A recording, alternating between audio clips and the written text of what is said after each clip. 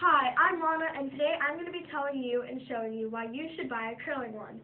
So this is Shelby, one of my models, and Kendall, one of my other models, Natalie and Keely.